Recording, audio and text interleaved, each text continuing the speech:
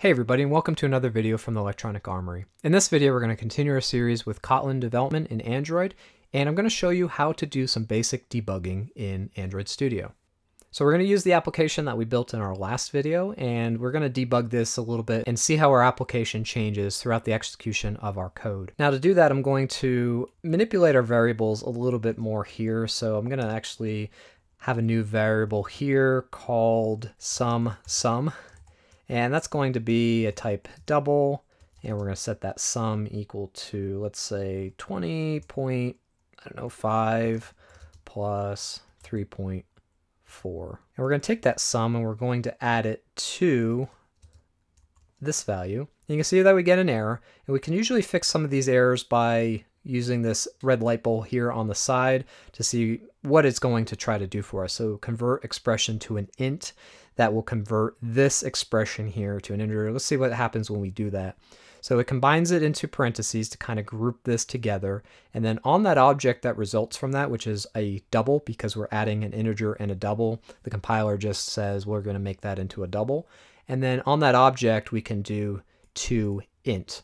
Likewise, what I can do is if we had another value and I wanted to make this, let's say another double of type double and we have, I want to make it 10, but 10 is not a double. It, it doesn't have any decimal point after it. Now this can be another, this can be an integer if I wanted to, and I can just do to double on that int. So I can do something like some int dot to double like you see me do previously. Or we can do, if I go back to that, uh, let's put 30 here, I can simply do to double like that. Now that looks a little weird, but it's being very explicit about what I'm what I'm trying to do here.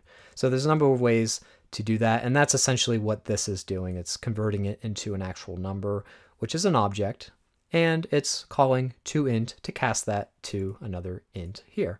And what we're going to simply do is copy this debug here and print out the new value of sum int. Now debugging is a lot more powerful than just logging out the values as our ap application executes.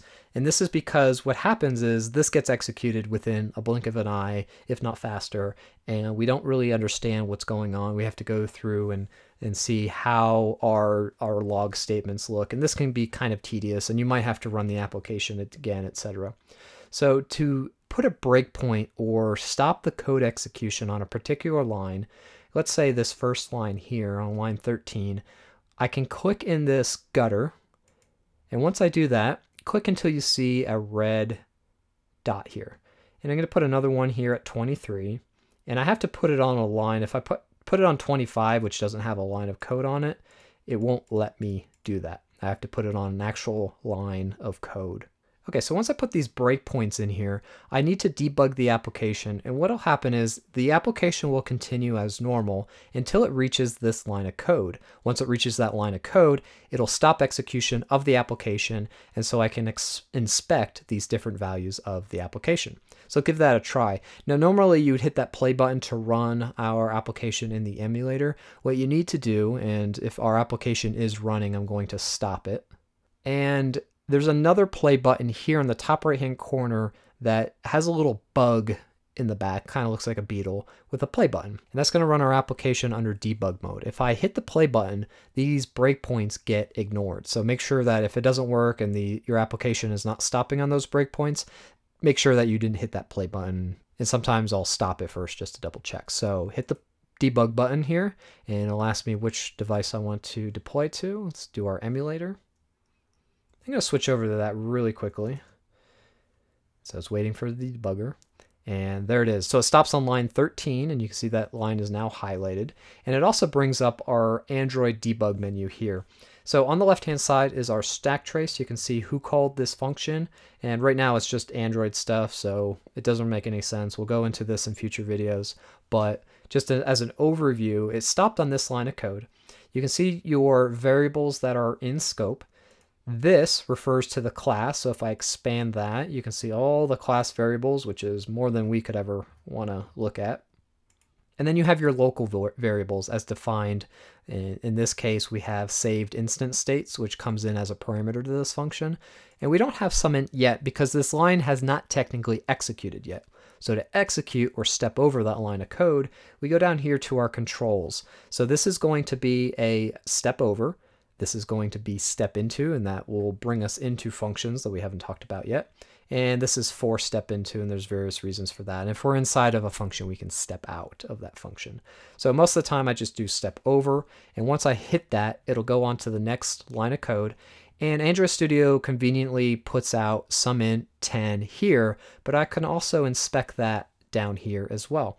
If I um, if I right click on that, what I can do is I can actually set that value from 10 to let's say 12, even after the fact that it's been set by my compiler. So if for some reason you need to debug a certain value and it's just not coming in or, or whatever, you can explicitly set that value. So that's a pretty cool feature.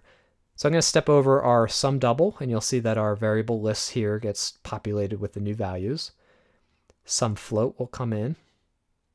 Some string will get added. And you can see now this has a little bit different syntax. Instead of a black, it's green. And we can look at our string and see some other values of our, our string object there.